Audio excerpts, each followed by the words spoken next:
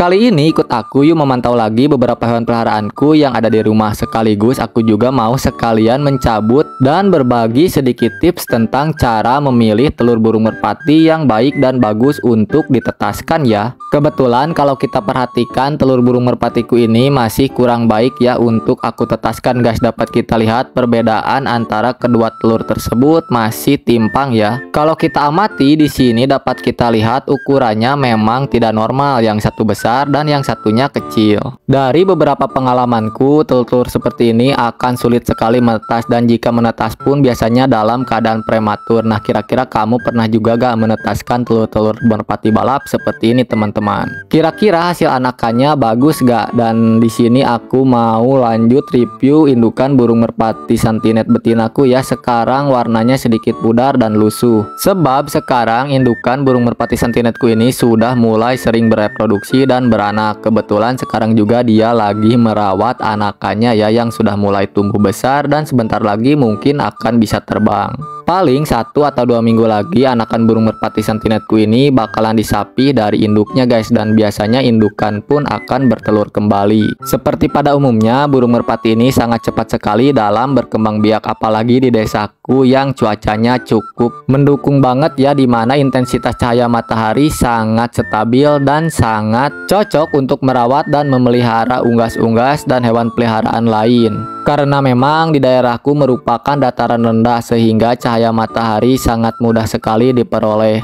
Hal tersebut menjadikan suhu di tempatku sangat ideal sekali untuk beternak dan memelihara hewan-hewan peliharaan lainnya seperti reptil, ruminansia, dan lain sebagainya tentu. Kalau kamu hidup di daerah pedesaan seperti aku ini teman-teman kamu pasti juga tidak asing dengan hewan yang sering dipelihara oleh masyarakat seperti bebek ini guys. Katanya dulu bebek ini tidak laku, tapi sekarang dia jadi primadona hewan peliharaan dan menurutku cara merawatnya pun sangat mudah ya dan tidak mengganggu. Asalkan kandangnya kamu pagar dan tidak diumbar bebas. Mereka memiliki sifat yang lucu, lemot, dan agak sedikit aneh guys. Jadi aku suka banget pelihara entok. Demikian dulu guys, salam hobi dan sehat selalu ya.